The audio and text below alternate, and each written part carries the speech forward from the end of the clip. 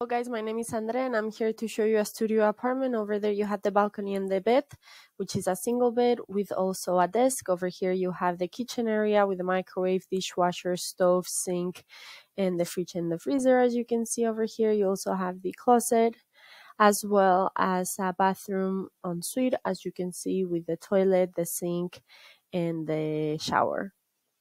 This would be all.